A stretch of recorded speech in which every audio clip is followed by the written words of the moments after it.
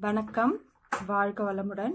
இப்போ வந்து நம்ம ஒரு விளக்கு செய்ய போகிறோம் அது எதை வச்சுனா சாணியை வச்சு செய்ய போகிறோம் அது வந்து பஞ்சதீப விளக்குன்னு சொல்லுவாங்க. அதில் செஞ்சோன்னா சகல ஐஸ்வர்யமும் கிடைக்கும்னு சொல்லுவாங்க. அதுக்கு தேவையான பொருள் சாணி கோமியம் நெய் தயிர் பால். இந்த அஞ்சுமே மாட்டுக்கிட்ட இருந்து கிடைக்கிறது. அதை வச்சு நம்ம இப்போ செய்ய போகிறோம் இப்போ இது எல்லாமே ஒரு ஒரு டீஸ்பூன் அளவுக்கு எடுத்து இது மூணையும் இதில் மிக்ஸ் பண்ணுறோம்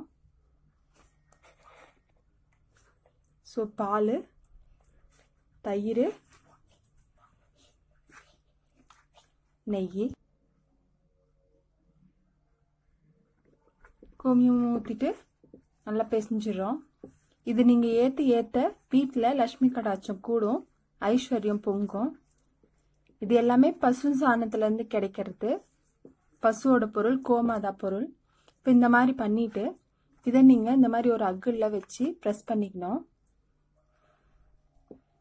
இது நல்லா காயணும்.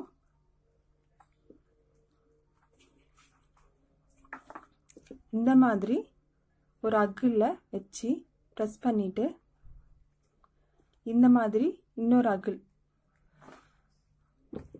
இன்னொரு அகிலை இது மேலே வச்சு நீங்கள் இப்படி அழுத்தணும்.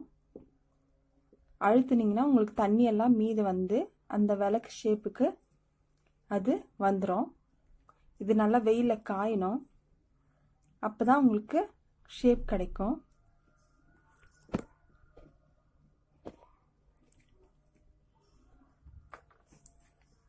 பாருங்க.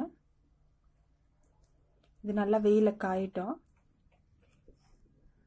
இது ஒரே நாளில் காஞ்சாலே போதும். இதே நான் உங்களுக்கு கையிலையும் செஞ்சு காமிக்கிறேன். இப்போ அகுலே இல்லைன்னா கையில் கூட செய்யலாம். பாருங்க. இந்த மாதிரி வச்சுட்டு. நீங்கள் சாதாரணமாக இதுவும் எடுப்பீங்கன்னா தண்ணி இல்லாமல் கொஞ்சம் புழிஞ்சுக்கோங்க. அது கலந்துற வரைக்கும் தான் அது தேவை. அகல் ஷேப்புக்கு நல்லா ரெடி பண்ணிக்கணும். இது நல்லா காஞ்சிச்சின்னா உங்களுக்கு நல்லா வரும். இந்த மாதிரி நல்லா ஷேப் வச்சு நல்லா காய வச்சுக்கணும். இதே மாதிரி காய வச்சது உங்களுக்கு ஏற்றி காமிக்கிறேன். பாருங்க.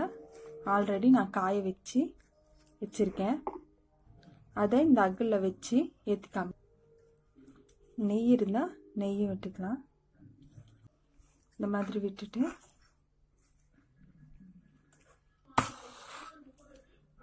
இப்போ இதை நம்ம ஏற்றுறோம்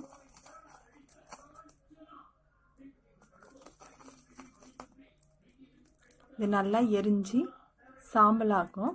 அந்த சாம்பலை நம்ம தின்னூர் மாதிரி யூஸ் பண்ணிக்கலாம்.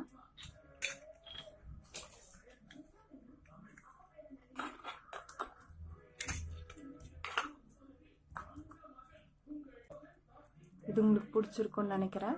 ட்ரை பண்ணி பாருங்கள் நன்றி வணக்கம்.